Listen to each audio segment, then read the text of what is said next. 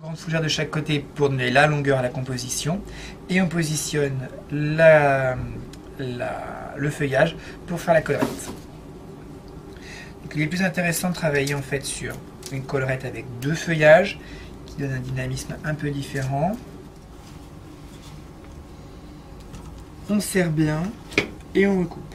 On laisse un demi centimètre euh, à notre lien de, métal et on laissera la même taille sur tous les liens. L'habillage soit complet. On travaille jusqu'au centre.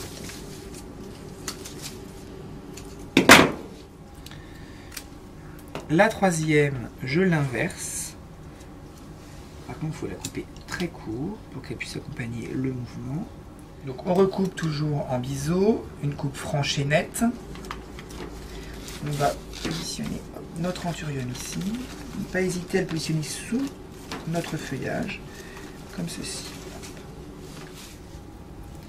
Voilà. Là, on a quelque chose de beaucoup plus jaillissant.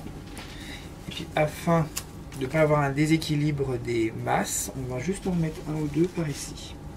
selon la taille, en fait, qui est important. Alors, nous avons positionné nos trois boules, euh, nos trois boules qui sont en fait euh, l'image de nos roses.